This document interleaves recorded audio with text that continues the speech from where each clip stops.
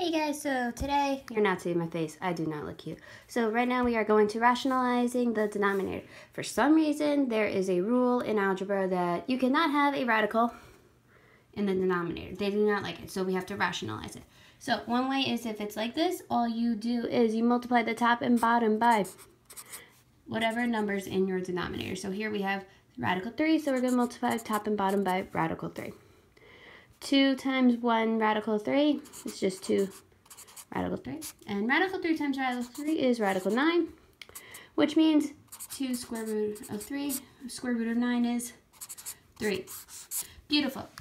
We solved the curse. That's how you do it all for stuff like the, that looks like this. Now, the other way to rationalize this the denominator for is when they look like this. Now again, rules, don't ask who made up these rules. So to fix this, we have to use the conjugate. Basically, the conjugate is the same exact thing, but the sign in the middle changes. So we're going to multiply the top and bottom by 3 minus square root of 5.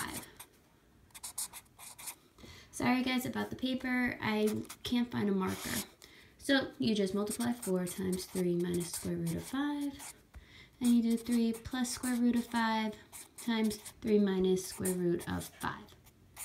So for the top, you just distribute 12 minus 4 radical 5. Now for the bottom, we're going to do the work over here because you'll see why. So I'm going to write it nice and cleanly.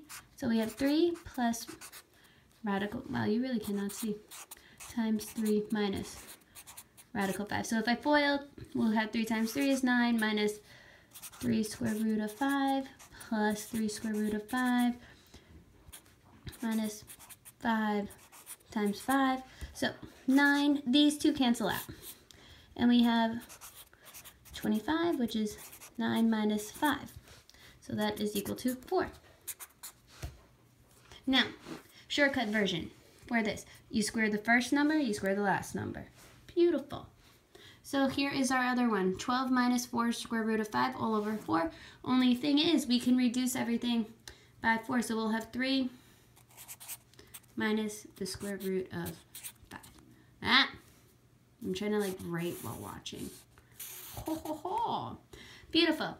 Alright, there you go guys.